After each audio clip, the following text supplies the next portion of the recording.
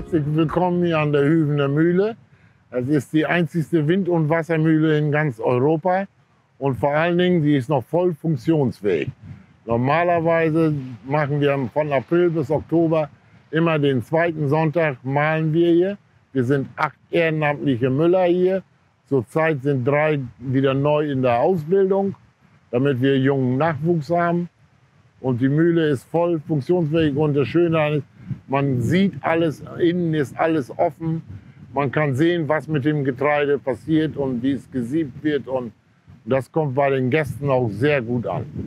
Dann haben wir viele Besuchergruppen hier auch, oft auch Schulklassen. Und für die Schulklassen haben wir ein ganz besonderes Programm. Und das wird auch sehr gut angenommen.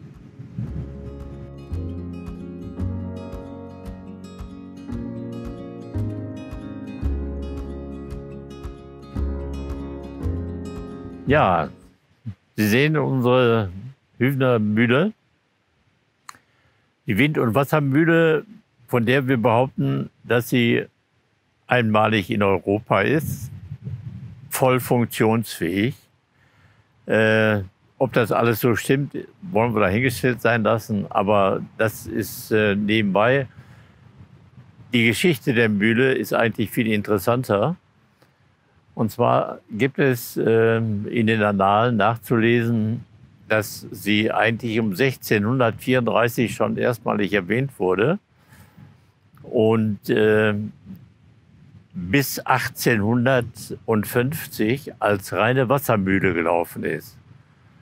Und um 1850 hat der damalige Müller sich die Windkraftanlage aufsetzen lassen. Möglicherweise war der Grund, Freigabe des Malrechtes. Möglicherweise kann man nur spekulieren, aber äh, so steht es irgendwo geschrieben. Die Mühle selber ist um 1800 abgebrannt, komplett. Ist auch wieder aufgebaut worden. 8000, äh, 1802 ist sie wieder komplett neu in Betrieb genommen worden, aber immer noch als Wassermühle.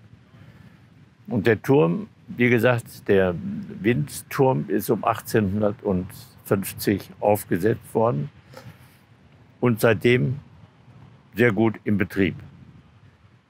Möglicherweise ist es natürlich auch für die damaligen Müller sehr recht schwierig gewesen, den, äh, die, die Windanlage mit äh, samt der Kappe zu drehen, weil man hatte natürlich nur tierische Fette zur Verfügung.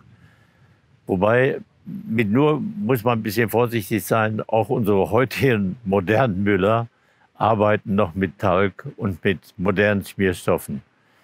Also es war aber, wie gesagt, auch in der, in der damaligen Zeit recht schwierig für den Müller, äh, den Turm bzw. die Kappe zu drehen.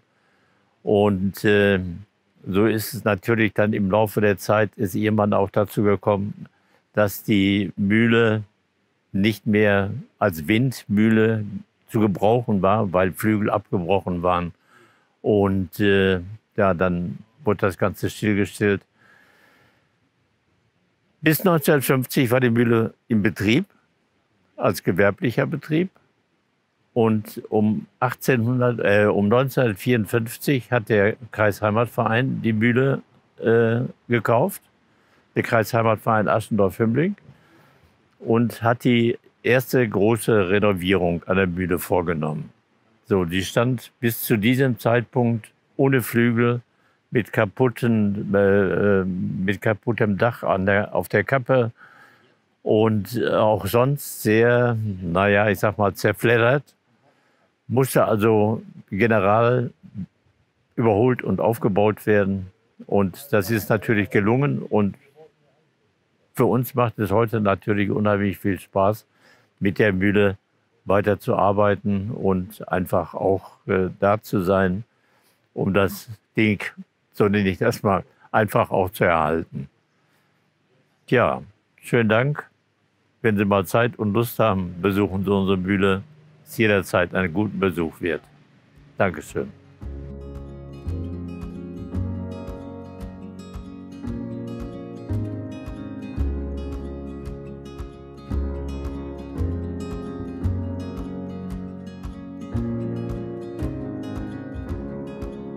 Die Hüvener Mühle ist ein äh, hervorragendes Beispiel dafür, was es Probleme früher mit Wind und Wasser gab.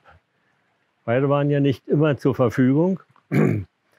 Und so hat man schon im Emsland im äh, 17. Jahrhundert die ersten Anträge gestellt ähm, auf Kombinationen von Wasser mit Windmühlen, die allerdings damals alle von der Landrostei in Osnabrück und vom Ministerium in Hannover abgelehnt wurden. Ähm, hier in Hüven ist es die erste, bei der das die Kombination von Wind und Wasser geglückt ist. Kombination von Rossmühlen mit Windmühlen, die gab es schon früher. In Aschendorf beispielsweise gab es so ein Beispiel.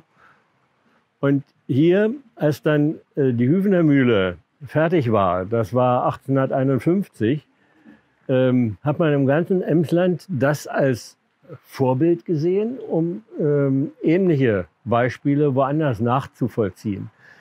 Geglückt ist das nur noch in Läden-Hersum.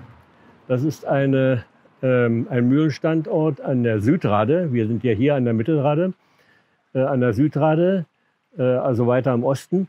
Ähm, dort hat der Hiesier Müller, der hieß Abel Möller, hingeheiratet und hat offensichtlich die Kenntnis der äh, Wind-Wassermühlenkonstruktion von hier dort mit hingenommen.